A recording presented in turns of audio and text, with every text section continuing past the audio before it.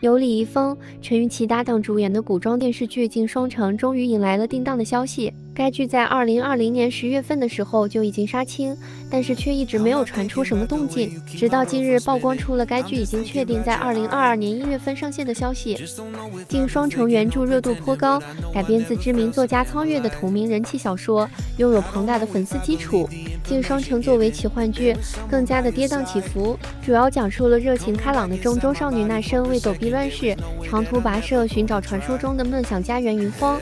一路上，她遇到重重危险，幸得男主苏某所救。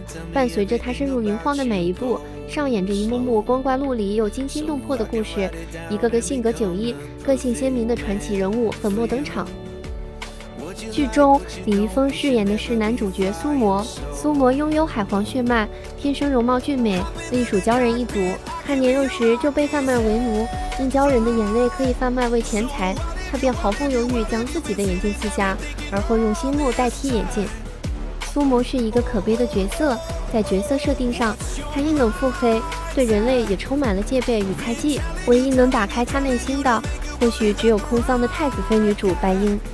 这是李易峰时隔五年再次挑起古偶剧的大梁，继《青云志》之后主演的又一部古装剧，可以说是引发了不少人的期待。但也是因为太久没有出演古装剧了，李易峰这次也让人好奇，他是否还能够再创《青云志》的佳绩。从这部剧的先导片上来看，李易峰在剧中的造型俊朗帅气，无异于当初在《青云志》中的张小凡。只不过，相比起当初单纯天真的张小凡，这回他在剧中所饰演的苏魔多出了几分成熟内敛的韵味。跟女主角陈钰琪站在一起，两人 CP 感也恰到好处。陈钰琪灵动漂亮，李易峰成熟温柔，他们俩人的眼神戏也很有感觉。苏魔在面对喜欢的人白英时，他的眼神里总是充满柔情，温柔的像水一样。陈钰琪作为九零后人气小花，虽说不是一线女星。但颜值无可挑剔，古装造型很惊艳，演技也可圈可点。陈钰琪在《镜双城》中饰演白英，是空桑太子妃，剑圣尊渊传人。这个地位高贵的女主人设很适合陈钰琪，她曾塑造过不少高贵公主形象，颇受观众喜爱。《锦绣未央》中九公主拓跋迪，《香蜜》中魔界公主刘英等都被她演绎的活灵活现。从曝光的剧照来看，陈钰琪白衣古装又仙又飒，就像是画中走来的仙子。李易峰。